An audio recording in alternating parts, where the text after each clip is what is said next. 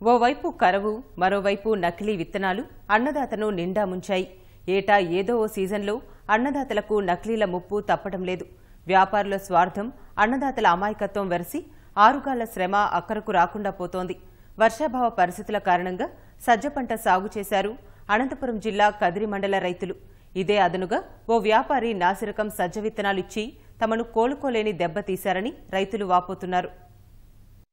కరవుతో అల్లాడే అనంత రైతులను నకిలీ నాసిరకం విత్తనాలు కష్టాల్లోకి నెడుతున్నాయి. కరవు నుంచి గట్టెక్కాలన్న ఆశతో తక్కువ కాలంలో చేతికందే సజ్జ పంట సాగు చేశారు కదిరి మండలానికి చెందిన రైతులు. ఎర్రదొడ్డి పంచాయతీలో యాభై మందికి పైగా రైతులు వంద ఎకరాల్లో సజ్జలు వేశారు. పంట కాలం పూర్తయినా చేను ఎదగకపోవడం కంకులకు గింజలు రాకపోవడంతో రైతులు తలలు పట్టుకుంటున్నారు. విత్తన లోపం వల్లే కంకులు రాలేదని అన్నదాతలు ఆరోపిస్తున్నారు. అప్పులు తెచ్చి పెట్టుబడులు పెడితే తిరిగి పైసా కూడా వచ్చే పరిస్థితి లేదని ఆవేదన చెందుతున్నారు. వాళ్ళు ఏం చెప్పిండ్లా? పెద్దలు పెట్టమని ఇచ్చినారా? వాళ్ళు ఉరివి మధ్యాలకు రాలా ఫోన్ చేస్తాంటే ఉరివే రాలా మూడు ఎకరాలు పంట పెట్టుకున్నాము ఎరువు తోలుకున్నాము మాసిరెడ్డిపల్లి కాటి నుంచి ఎరువు తోలకొచ్చినాము ఇప్పుడు ఫోన్ చేస్తే ఫోన్ ఉరువు ఎత్తలేదు ఇట్లా అని చెప్తే కూడా రాలా. ఏం చెప్పాలంటే మాకు పంట నష్టమైంది కదా సార్. వేలు అయిపోయింది క్రాస్ కాల గింజలు పట్టినట్లు పట్టినాయి మళ్ళీ మా అవి తినిపోతున్నాయి. ఆ సుమారు ఎంత ఖర్చు వచ్చిందో కూలోళ్ళకు పెట్టుబడి ఆటో బాడిగి ఈ ట్రాక్టర్ బాడుగులు వాళ్ళకి మళ్ళీ మందులు అన్ని పెట్టి పంట పెడితే పంట ఉరువే ఇట్లా అయిపోయింది. వాళ్ళు కనీసం రాను రాలేదు ఏమాట చెప్పలా. సత్తలిచ్చేటప్పుడు అయితే ముందే ఉంటారు ఇప్పుడైతే ఉరువే రాలా. అప్పు తెచ్చి పంట పెడితే ఈ విధంగా సీడు సీడ్ కొత్త వేరే కంపెనీ నుంచి వచ్చినామని చెప్పి కొత్త సీడ్ ఇస్తాము పంట బాగా అవుతుందని చెప్పి ఈ విధంగా సీడ్ ఇచ్చారు వాళ్ళు. అసలు గింజ కూడా పడటం లేదు. ఒకరాకి పద్దెనిమిది గింటాలు అవుతుందని చెప్పినారు.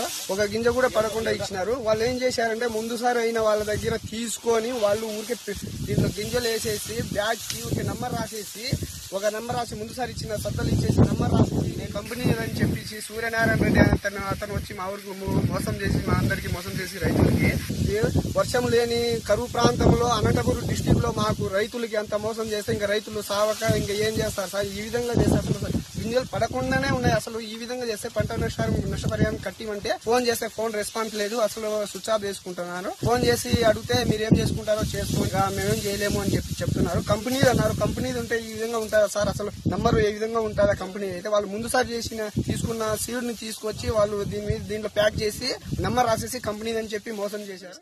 పంట పరిస్థితిని గుర్తించిన అన్నదాతలు విత్తన సరఫరాదారునికి సమస్యను వివరించారు. అయితే నీటి కొరత సరైన యాజమాన్య పద్ధతులు పాటించకపోవడం వల్లే పంట రాలేదని సదరు వ్యాపారి చేతులెత్తేశారు. దీంతో రైతులు దిక్కుతోచని స్థితిలో కొట్టుమిట్టాడుతున్నారు. విత్తన సంచికి బ్యాచ్ నెంబర్ కోడ్ వంటివి కూడా ఏమీ లేవని రైతులు వాపోతున్నారు.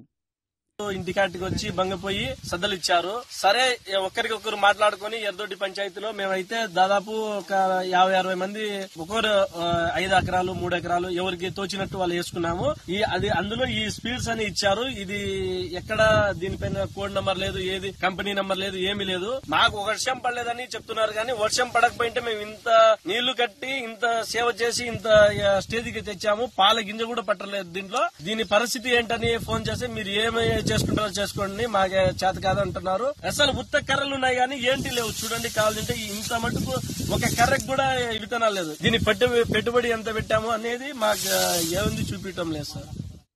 విత్తన సమస్యపై రైతులు వ్యవసాయ శాఖను ఆశ్రయించారని అధికారులు చెబుతున్నారు. రైతుల ఫిర్యాదు మేరకు విత్తన కంపెనీపై ఆరా తీసినట్లు తెలిపారు.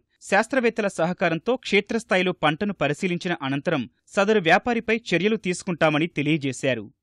కదిర్లో మనకి ఎర్రదొడ్డి గ్రామ పంచాయతీకి సంబంధించిన ఒక ఏడు గ్రామాలలో మనకి ఇరవై నుంచి ముప్పై మంది రైతులు ఇలా సజ్జ పంట మనకి కంకి సైజ్ తగ్గడం కానీ కంకిలో విత్తనం రాకపోవడం లాంటి కంప్లైంట్లు రావడం జరిగింది. ఈ కంప్లైంట్ తీసుకొని మనము విత్తనం ఎక్కడి నుంచి తీసుకోవడం అనేది ఎంక్వైరీ చేస్తే విత్తన కంపెనీ వాళ్ళు ఎవరు ముందుకు రాలేదు. ఈ కంపెనీ ఎక్కడ ఎక్కడి నుంచి విత్తనం తీసుకున్నారు రైతులు అనేది మనము మన డిపార్ట్మెంట్ ద్వారా వ్యవసాయ శాఖ ద్వారా ఎంక్వైరీ చేసి ఆ కంపెనీ లైసెన్స్డ్ ఉందా లేదా రికగ్నిషన్ తీసుకున్నారు లేదా అనేది ఎంక్వైరీ చేసి వాళ్ళపైన చర్యలు తీసుకోవడం జరుగుతుంది. అదే విధంగా విత్తనం ఫీల్డ్ విజిట్ చేసి డిపార్ట్మెంట్ ద్వారా ఫీల్డ్ విజిట్ చేసి ప్రాబ్లం ఎక్కడుందో ఐడెంటిఫై చేయడం జరుగుతుంది. ఖచ్చితంగా ఈ రైతులకు న్యాయం చేసే విధంగా మేము ప్రయత్నం చేస్తాము.